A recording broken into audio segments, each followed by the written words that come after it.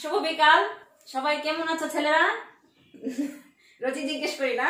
কারণ সামনে তো পাই না, জিজ্ঞেস করতে আর পাই না এখন যে কে কি রকম আছো। তোমরা তো সবাই ভালো আছো না মন্দ আছো তাও জানি না। মাঝে মাঝে কয়েকজনের সাথে ফোনে কথা হয়। অনেকেই ফোন করে জানতেও চাও না যে স্যার ম্যাডামরা কেমন আছে। তাই না? কিন্তু আমাদের জানতে ইচ্ছা হয়। তাই যাকেই ফোন দেই, তাকেই জিজ্ঞাসা করি যে, ও ভালো আছে তো? ও ভালো আছে তো? তোমাদের সেই ইচ্ছা মনে হয় না নাই। যাই হোক আমাদের তো আছে, সন্তান তো আমাদেরই। তো এসডিজির আজকে সেই ধারাবাহিকতার ক্লাস নাম্বার হচ্ছে ফাইভ এসডিজির লক্ষ্যমাত্রা হচ্ছে সতেরোটি। আমি বারোটি লক্ষ্যমাত্রা নিয়ে পূর্বে তোমাদের আলোচনা করেছি, সেই বারো নাম্বার থেকে আবার শুরু করলাম। সেটি হচ্ছে পরিমিত ভোগ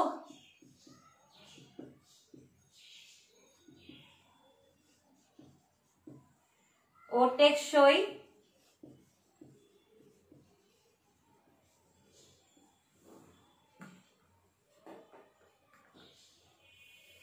উৎপাদন।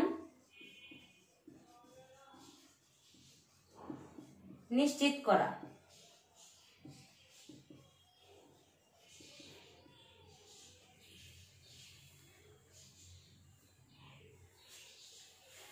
অর্থনৈতিক উন্নতি অর্জন ও টেকসই উন্নয়নের জন্য আমাদের পরিবেশের উপর প্রভাব কমাতে হবে এবং আমাদের বিভিন্ন পণ্য সম্পদের যে ব্যবহার আহরণের মাত্রা পরিবর্তন করতে হবে। অর্থাৎ কৃষি ব্যবস্থাপনায় অধিকাংশ পানির ব্যয় হয়ে থাকে এবং সেচে মানুষ প্রয়োজনীয় পরিষ্কার পানি সত্তর পার্সেন্টই খরচ করে থাকে।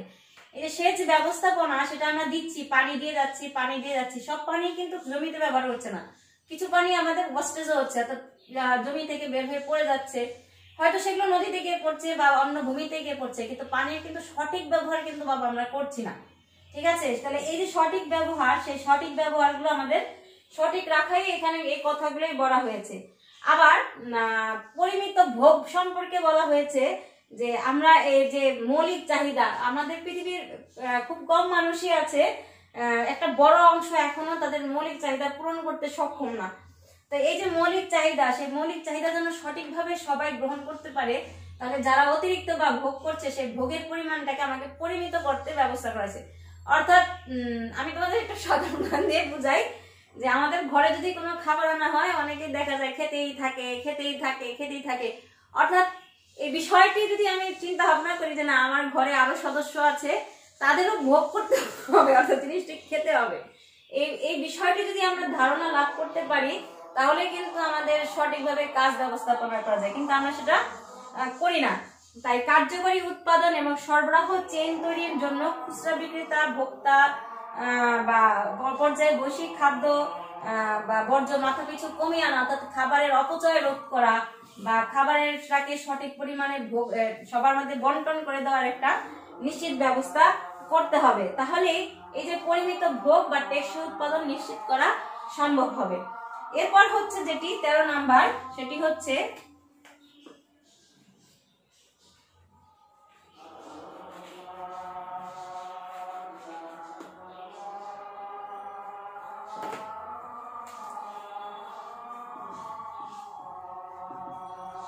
জলবায়ু পরিবর্তন।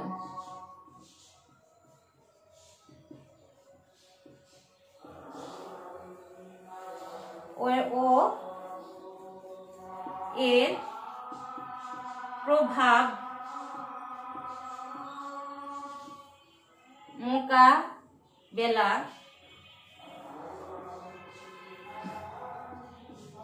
জরুরি কর্ম ব্যবস্থা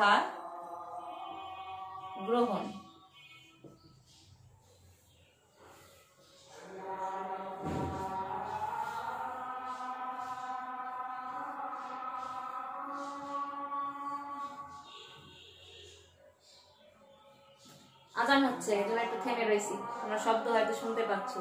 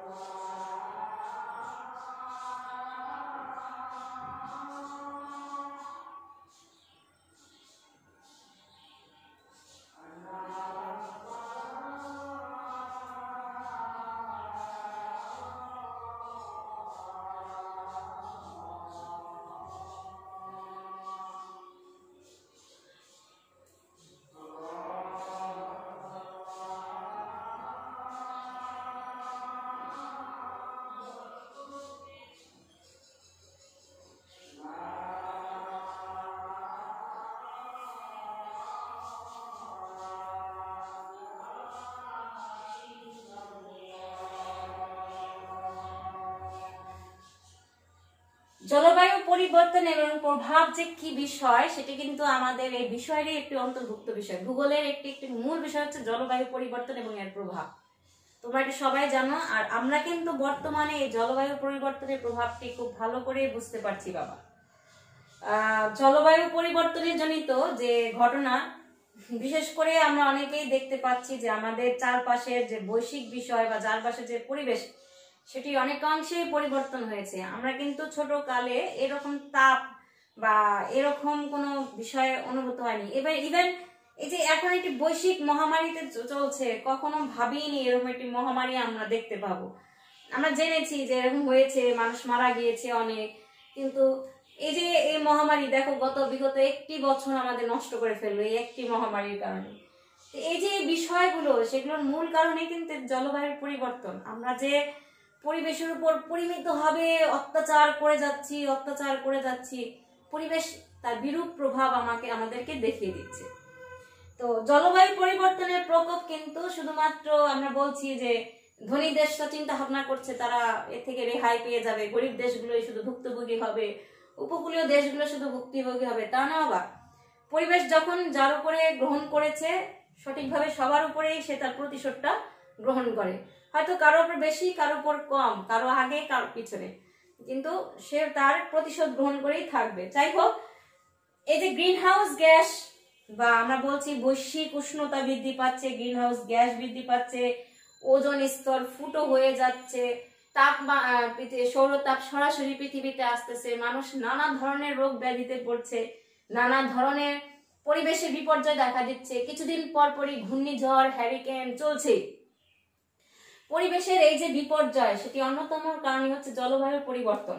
আর এই জলবায়ুর পরিবর্তন কিন্তু ধীরে ধীরে হয়েছে, যা আমরা নজরে দিতে পারিনি। কিন্তু আমরা কিন্তু আমাদের কর্মকাণ্ড, প্রকৃতির উপরে যে প্রেসার প্রকৃতির উপরে যে, তার উপরে যে নিপীড়ন, সেটি কিন্তু আমরা করেই যাচ্ছি এখনও। আমরা এখনও কিন্তু গ্রিন হাউস গ্যাস কমাতে সক্ষম হইনি, বা আমরা যেটাকে বলি যে বৈশ্বিক তাপমাত্রা, সেটিও কিন্তু কমেনি। আমরা ভূপ্রকৃতিক মতো পড়ছি নানা ধরনের জীব বৈচিত্র্যতা হারিয়ে যাচ্ছে অনেক পরিবেশ দেখা যাচ্ছে যে নোংরা হয়ে যাচ্ছে। তাহলে এই যে এই যে দুর্বল দুর্বল অঞ্চলগুলো ধীরে ধীরে যে আরও বেশি তারা এই জলবায়ু জনিত ক্ষয়ক্ষতিতে পতিত হচ্ছে। আমার আমার আমি যখন আহ, একসময় একটা বাইরের দেশ অঞ্চলে গেছিলাম তাই জন্য আমাকে বলতেছে দেখো ওই যে উদ্বাস্ত গুলোকে দেখছ এক সময় তাদের সবকিছু ছিল কিন্তু জলবায়ু পরিবর্তন জনিত কারণে যে এই অঞ্চলে মানে হাওড়া অঞ্চলে বলেছে যে এই অঞ্চলে এক সময় দেখা গেছে যে এক সময় তারা ধান চাষ করতে পারতো, কিন্তু জলবায়ু পরিবর্তনের কারণে এখন আর সেটি করতে পারছে না। কারণ কোনো কারণে এখানকার পরিবেশটি বিপর্যয় দেখা দিচ্ছে। তাদের যে চাষবাস, সেটি করে তারা লাভবান হচ্ছে না। তাই জলবায়ু পরিবর্তনের মোকাবেলা, এর প্রভাব মোকাবেলায় জরুরি কর্মব্যবস্থা গ্রহণ করা তেরো নাম্বার এসডিজি তেরো নাম্বার একটি লক্ষ্য। তবে আমার মনে হয়, এই তেরো নাম্বার লক্ষ্য শুধু এসডিজির না তেরো নম্বর লক্ষ্য পূরণ না। যদি এই লক্ষ্যটি সঠিকভাবে পূরণ করা হয়, অনেক কর্মকাণ্ডে এসডিজির লক্ষ্য এমনি এমনি পূরণ হয়ে যাবে। তারপরে হচ্ছে চোদ্দ নম্বর।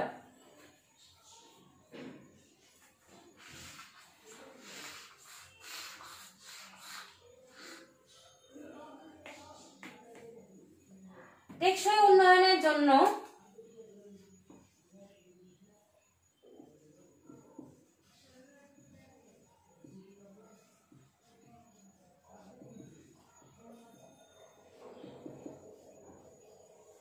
টেকসই উন্নয়নের জন্য সাগর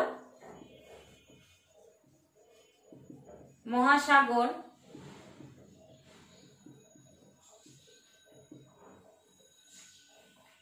ও সামুদ্রিক সম্পদের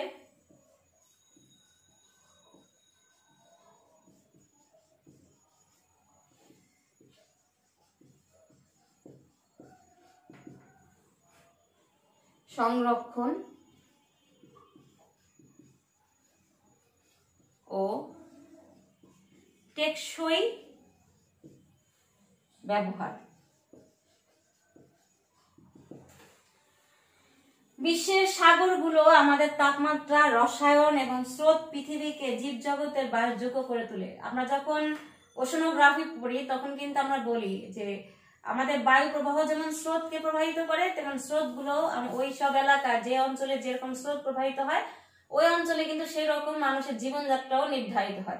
যেমন খোদ ভারত মহাসাগরে দুই রকম দেখ- যায়। উত্তর ভারত মহাসাগরে গ্রীষ্মকালীন মৌসুমী স্রোত, শীতকালীন স্রোত। দুই ভাবে দুই ভাবে স্রোত আসে। গ্রীষ্মকালেরটা আসে আরব সাগর থেকে, আবার শীতকালে আসে প্রশান্ত মহাসাগর থেকে।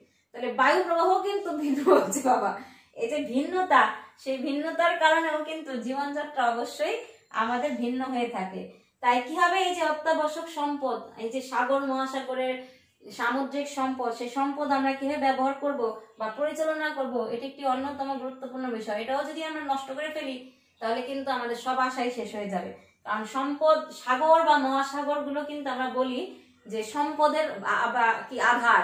ওটা হচ্ছে সম্পদের আধার, যা আমরা এখনও সেখান থেকে উত্তোলন করিনি, এখনও সেখানে রেখে দিয়েছি। তিন বিলিয়ন মানুষ তাদের জীবিকা নির্বাহের জন্য মানে পৃথিবীব্যাপী প্রায় তিন বিলিয়ন মানুষ তাদের জীবিকা নির্বাহের জন্য সমুদ্র সমুদ্র উপকূলীয় জীব বৈচিত্র্যের উপর নির্ভরশীল। বর্তমানে তিরিশ পার্সেন্ট মাছের আধার এমন পর্যায়ে পৌঁছাছে, পৌঁছেছে যে এই মাছ আর কোনোদিনই তাদের প্রজনন ঘটাতে সক্ষম হবে পারবে না, অর্থাৎ তাদের বংশ বিস্তার করতে সক্ষম হবে না। মানুষের যে উৎপন্ন, আমরা যে উৎপন্ন করছি কার্বন ডাই অক্সাইড তাই তার তিরিশ পার্সেন্ট মহাদেশগুলো শোষণ করে না অর্থাৎ পানি কার্বন ডাই অক্সাইডগুলো কিছু অংশ শোষণ করে। এই যে শোষণ, শোষণের ফলে কার্বন ডাই অক্সাইড অতিরিক্ত হচ্ছে তা সমুদ্রের মধ্যে পড়ছে বা আমরা যে সমুদ্রের মধ্যে সমস্ত বর্জ্য নিয়ে ফেলছি সেই বর্জ্যটা কিন্তু আমাদেরই ক্ষতিগ্রস্ত করছে এবং আমাদেরই কি হচ্ছে তাতে ক্ষতি হচ্ছে। বাস্তুতন্ত্র দেখা যাচ্ছে, সামুদ্রিক যে বাস্তুতন্ত্র, সেটা অনেকাংশেই ধ্বংস হয়ে যাচ্ছে। আইনের মাধ্যমে আমরা হয়তো এই সম্পদ আমরা রক্ষা করতে চা পারি। কিন্তু সবসময় কিন্তু আইন দিয়ে সবকিছু হয় না। মানুষের যে একটি চিন্তা ভাবনা বা মানুষের যে একটি আমাদের যে আকাঙ্ক্ষা, বা আমাদের যে একটি দায়িত্ববোধ, সেটি কিন্তু আমরা হারিয়ে ফেলি। যে বুঝে কি বলব আর? যে আমরা নিজেরাই জানি না যে আমরা কি করব। আমরা নিজেরা বেড়াতে গিয়েও আমাদের যে বিশাল দক্ষিণে যে কক্সবাজার বেড়ানোর জায়গা, স্বাস্থ্যকর স্থানকে আমরা ধীরে ধীরে প্রতিনিয়ত অস্বাস্থ্যকর করছি নিজেরাই। আমরা বেড়াতে গেলে বিভিন্ন ধরনের ময়লা ফেলি, চিপস খেয়ে ফেলে দেই প্যাকেটটা, বা আইসক্রিম খেয়ে যে কোনো খোসা ফেলে দিয়ে আসি। এই যে তাদেরকে ফেলে দিয়ে আসি, এটা কিন্তু আমাদেরকে সমুদ্র আবার ফিরাই দেয়। তাই না? আমরাই ধ্বংস করছি সমুদ্র। তাই এই যে সামুদ্রিক বিষয় বা সাগর, মহাসাগর বা সামুদ্রিক সম্পদগুলো আমাদের সঠিকভাবে সংরক্ষণ করতে হবে, বা টেকসই যে ব্যবহার সেটি নিশ্চিত করতে হবে। তাই না? সেটি সবাই তোমরা ভালো করে বিষয়টি বুঝবে এবং লিখবে। যাই হোক, তারপরে যে বিষয়, সেটি হচ্ছে পনেরো নম্বর।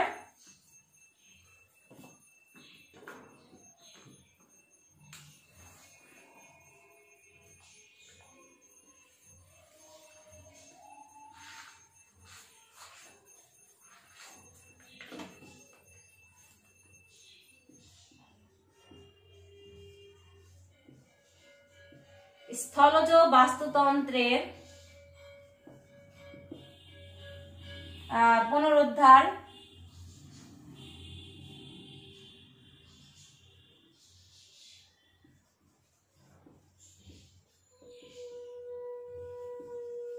ও সুরক্ষা প্রদান।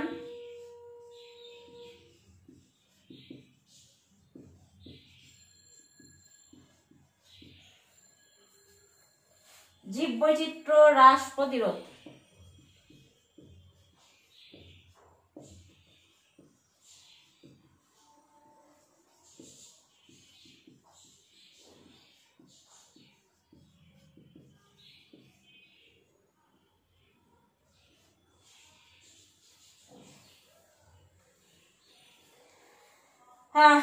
মানুষ জীবিকার জন্য সাগরের উপর নির্ভর করে থাকে, উদ্ভিদ মানব খাদ্যের চল্লিশ পার্সেন্ট পূরণ করে, কৃষিকে আমরা গুরুত্বপূর্ণ সম্পদ হিসেবে এর জন্য বিবেচনা করি, তাই না? আবার বনাঞ্চল পৃথিবী পৃষ্ঠে তিরিশ পার্সেন্ট আচ্ছাদিত করে আছে, যা বিভিন্ন প্রাণীর বাসস্থান হিসেবে কাজ করে। পরিষ্কার বায়ু, পানি এর একটি মূল উৎস হচ্ছে এই যে স্থলজ বাস্তুতন্ত্র বা যে কোনোই বাস্তুতন্ত্র। আবার বনাঞ্চল হচ্ছে বিশেষ দুর্যোগ মোকাবেলা করতে পারে, তোমরা সবাই জানো ঘূর্ণিঝড় যে আমফান, আমফানের ক্ষতিগ্রস্তটা কিন্তু আমরা কিন্তু পাইনি। আমফানের ক্ষতিগ্রস্তটা কিন্তু আমরা রক্ষা পেয়েছি শুধুমাত্র আমাদের সুন্দরবনের কারণে। প্রতি বছর দশ মিলিয়ন সে হেক্টর আমরা বন উজাড় করছি শুষ্ক ভূমির অবনতির ফলে তিন দশমিক ছয় বিলিয়ন হেক্টর ভূমি মরুভূমিতে পরিণত হচ্ছে, যা অপ্রাসঙ্গিকভাবে দরিদ্র সম্প্রদায়গুলোকে প্রভাবিত করছে। অর্থাৎ আমাদের যে উত্তরবঙ্গ আছে, সেটি তার উদাহরণ। যে উত্তরবঙ্গ একসময় সবুজে আচ্ছাদিত ছিল, এখন ধীরে ধীরে সেটি মরুভূমির দিকে যাচ্ছে। আবার যে মরুভূমি, সারা মরুভূমিতে দেখা গেছে, ধীরে ধীরে উদ্ভিদ গজাচ্ছে। এই যে পরিবর্তন, সেই পরিবর্তনটা মূলত কিন্তু আমাদের জন্যই হচ্ছে। অর্থাৎ আমরা পরিবেশের উপর বিভিন্ন ধরনের যে কর্মকাণ্ড করছি, গাছ কেটে গাছ লাগাচ্ছি না তারপরে হচ্ছে নদীর যে পানি, সেই পানির সঠিক যে ব্যবহার সেটি আমরা করতে পারছি না। পানির অপচয় রোধ করছি, অপচয় রোধ করছি ভুল কোথায়? আমরা পানির অপচয় করছি। এই যে পানির অপচয় জীব বৈচিত্র্য ধ্বংস, নানা ধরনের আমরা কাজ করছি। এই যে কর্মকাণ্ড, সেগুলো কিন্তু আমাদের পরিবেশের উপর যথেষ্ট বিরূপ প্রভাব ফেলছে। সেই বিরূপ প্রভাব থেকে যদি রক্ষা করতে যাই, তাহলে স্থলজ বাস্তুতন্ত্রের পুনরুদ্ধার করতে হবে এবং এদেরকে সুরক্ষা প্রদান করতে হবে। অর্থাৎ যে জমিগুলো, যে বিষয়গুলো, যে বাস্তুতন্ত্রগুলো ঝুঁকির মুখে আছে, তাদেরকে আমাদেরকে রক্ষা করতে হবে। আমাদেরকে সেগুলো সংরক্ষণের ব্যবস্থা করতে হবে, নিরাপত্তা প্রদান করতে হবে। অর্থাৎ এক সময় যাদের থেকে আমরা খাবার পাচ্ছি, দেখা যাবে তাদের থেকে আমরা খাবার পাবো না। তখন আমরা কিছুই পাবো না। না খেয়ে ধীরে ধীরে আমরাও কিন্তু মরবো। আর যে জমি ধীরে ধীরে মরুভূমিতে পরিণত হচ্ছে, সেই উজান উজার মরুভূমিতে কিন্তু বৃক্ষ বা কোনো কৃষিকাজ করা সম্ভব হবে না। তখন সেই জমি পতিত হয়ে পড়ে থাকবে বাবা। এই জন্য অবশ্যই এই বিষয়টি আমাদের লক্ষ্য রাখতে হবে। আমরা কিন্তু তেরোতম বিষয়ে কিন্তু বলেছিলাম, যদি একটি লক্ষ্য যদি আমরা পঞ্চাশ পার্সেন্ট অর্জন করতে পারি, জলবায়ু পরিবর্তনের প্রভাব মোকাবেলা করতে পারি, তাহলে অন্যান্য যে বিষয়গুলো, সেগুলো অনেকগুলোই আমাদের এই লক্ষ্যের মধ্যে চলে আসবে। তাই এই বিষয়টাও কিন্তু জলবায়ু পরিবর্তনের একটি বিষয়। আর জলবায়ু পরিবর্তনের জন্য দায়ী মূলত আমরাই, পরিবেশ না। বা প্রকৃতি না। আমরা নিজেরাই জলবায়ুকে ধীরে ধীরে পরিবর্তনের জন্য বাধ্য করছি। এরপরে যে বিষয়টি, সেটি হচ্ছে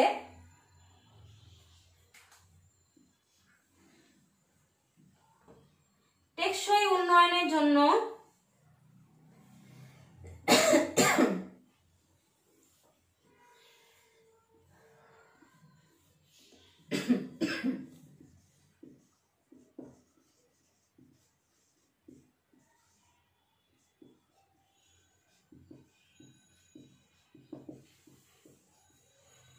টেকসই উন্নয়নের জন্য শান্তিপূর্ণ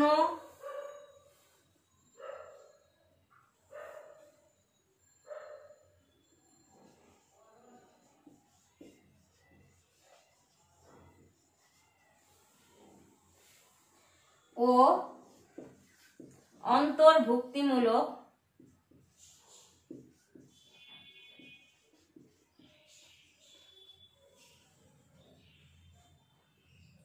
সমাজ ব্যবস্থার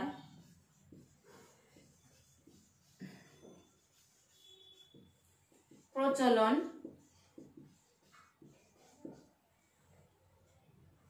সকলের জন্য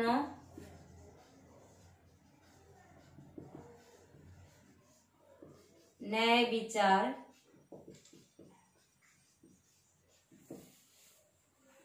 প্রাপ্তির পথ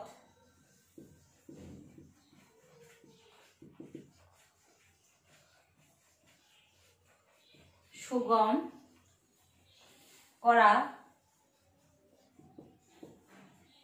ও সকল স্তরে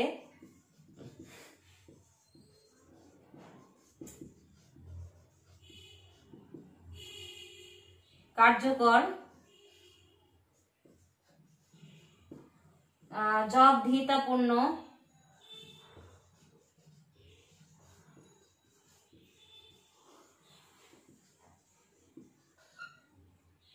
প্রতিষ্ঠান গড়ে তোলা।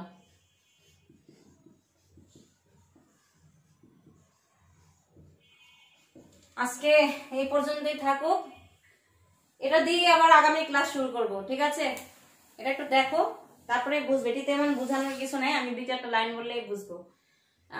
আশা করি সবাই ভালো আছো, থাকবে, সুস্থ থাকবে, একটু একটু পড়বে বাবা, প্লিজ, ভালো থেকো।